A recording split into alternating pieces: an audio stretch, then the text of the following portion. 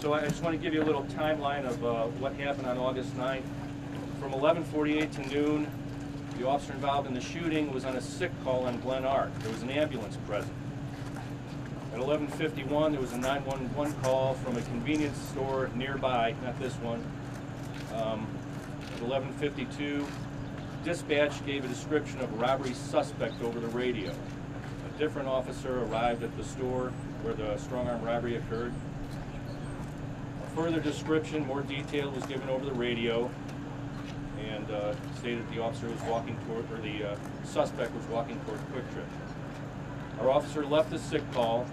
He encountered, uh, encountered the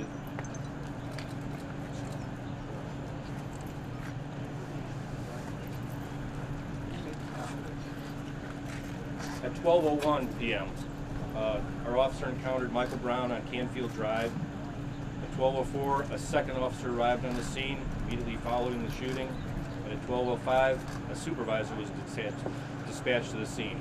And subsequent officers arrived. There has been some questions about uh, the calling of an ambulance.